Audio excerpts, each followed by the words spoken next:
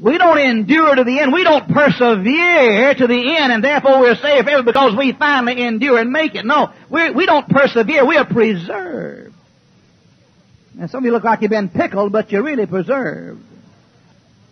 Why don't we use Bible terminology rather than John Calvin's terminology? Wouldn't that be better? I don't believe in the perseverance of the saints. I believe in the preservation of the saints. They're signed, sealed, and will be delivered. Saved forever. Yeah. I didn't mean to get that in. That just came in. I told you it's a new sermon. I'm making it up as I go. The new, I'm going to make some notes on it myself, so give me time. But you go home and read your Baptist doctrinal statement, it'll say, we believe in salvation by grace through faith. That's what it says. And yet, we think if we don't make it real hard for people to get saved, they're not really saved.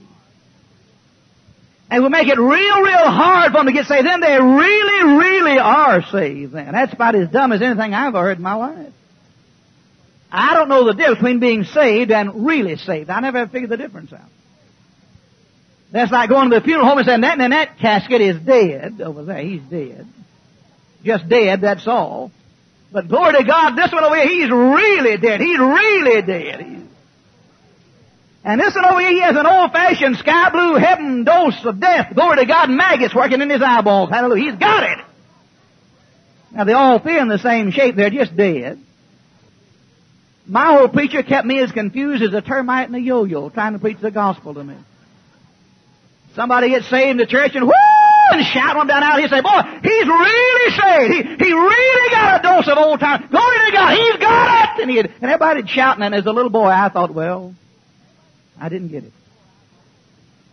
And I, I didn't get really saved because I didn't run down out and shout like that guy did, so I'm not really saved. But I learned after 21 years passing the same church, you can't tell my how much gas in the tank with a honk of the horn. I know a lot of Baptists still blowing the horn, been out of gas for years and years and years.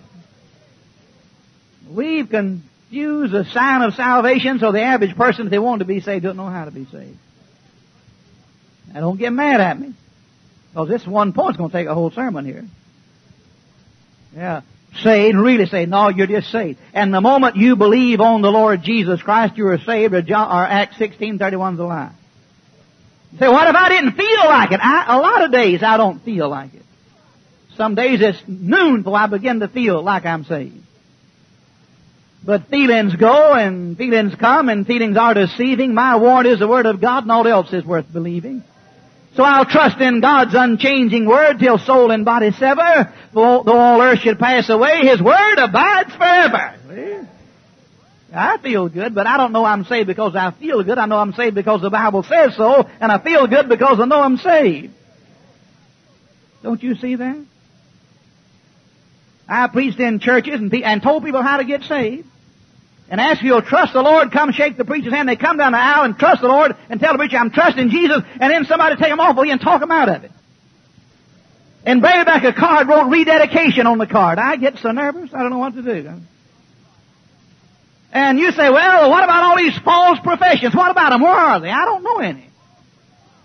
You're getting awful quiet here tonight. If you come to me and told me my profession was false, I'd slap your jaws in Christian love.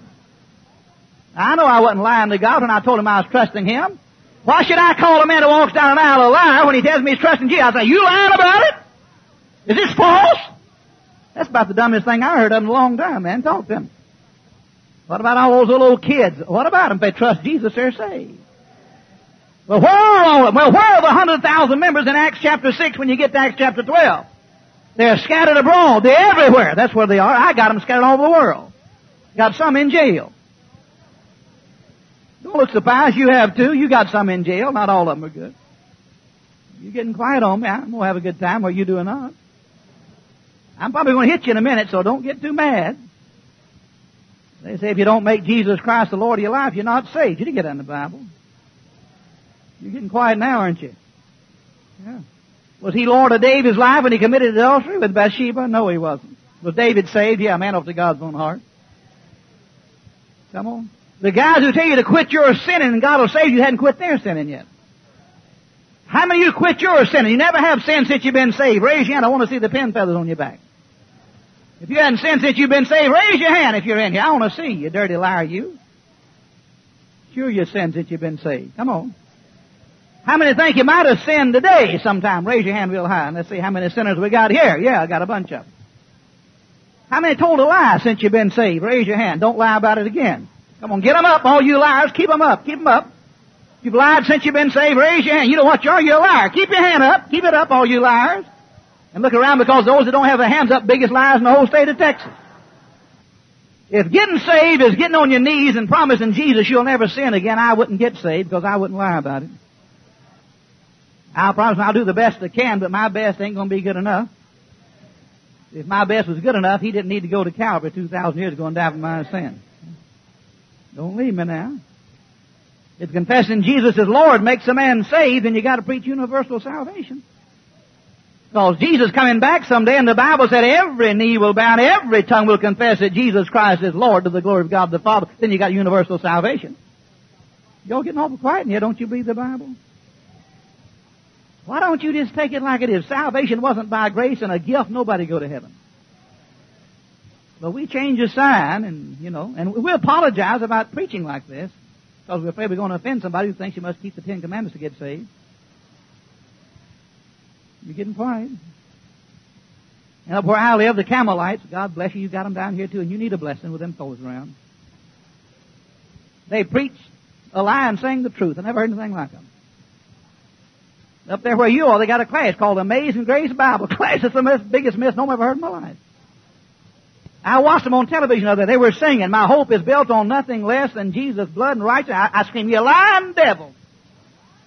What do you mean? You're saying your hope's built on nothing less tell them they don't get baptized, they're not saved. Your hope's built on the baptistry.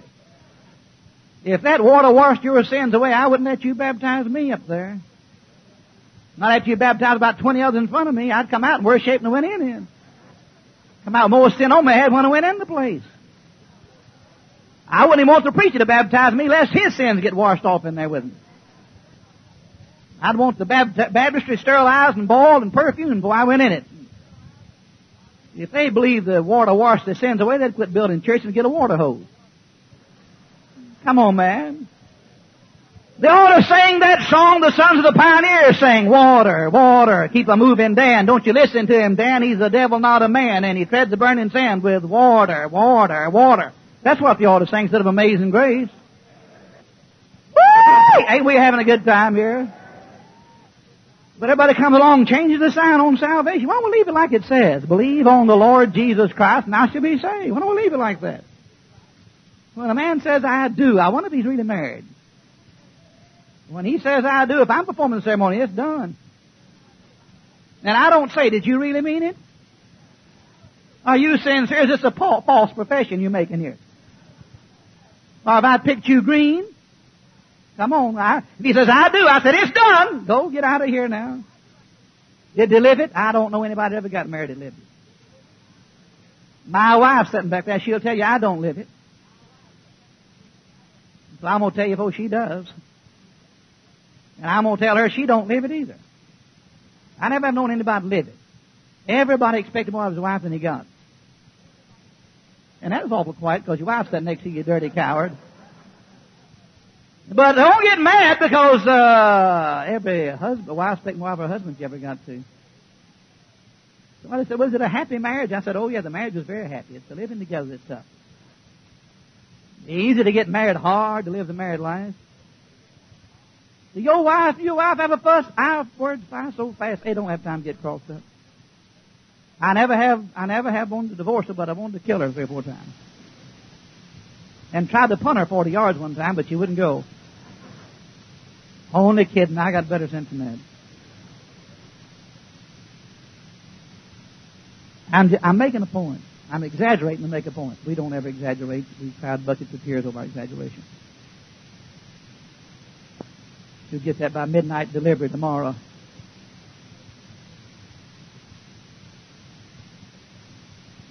When a man gets married, he says, I do. I never said, you mean that? Are you serious about that? Is this a false profession or real? When a sinner comes out of house and tells me he's trusting Jesus Savior, I take him at his word and take God at his word and say the guy's everlasting life because God said so and that said it. He's going to heaven. He may not behave all the time, but he's going to heaven.